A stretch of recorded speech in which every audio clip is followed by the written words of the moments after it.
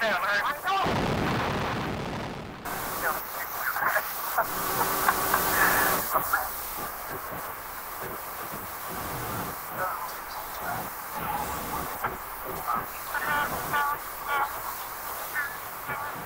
the joking seems to be as a way of coping with the difficulty of the situation. Their nervousness in flying in snow may be due to their lack of experience.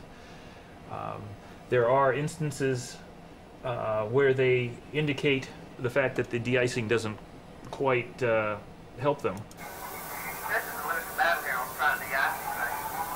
That gives you a false feeling of security. That's all it is. Yeah, that's tight with that. Uh, they also indicate, um, and when they're going through their checklist and they're planning for the actual takeoff, they're talking about what they will do, uh, how they will take off. They will apply power. They'll let the nose wheel come off the ground, fly to 500 feet, reduce the power.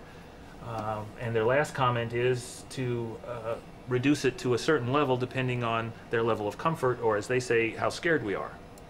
I'll put it back about 1.55 close to that 160. Still how scared we are. So I think they were very nervous about the situation. They knew that they were heavy. They had a lot of passengers and a lot of weight on board, and the snow only added to their weight, and that caused them some concern.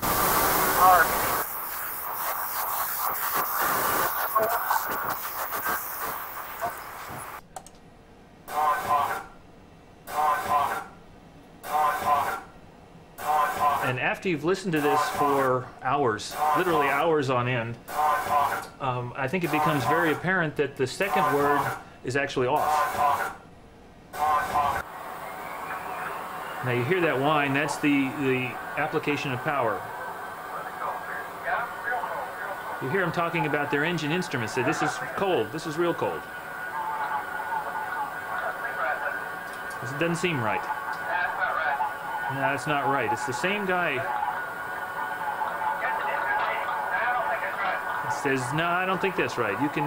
He's he's really concerned about this and is not performing right.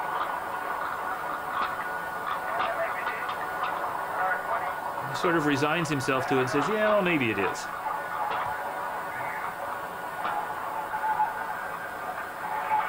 Okay, at this point, they've lifted the nose off the ground and they're flying. You hear the stick shaker, the da da da da da da da sound, indicating that they're not flying fast enough. They're about to stall the, the wing of the aircraft.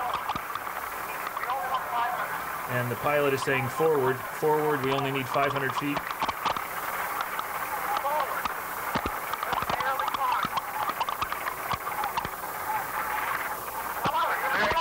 Down. And that was the sound of the impact.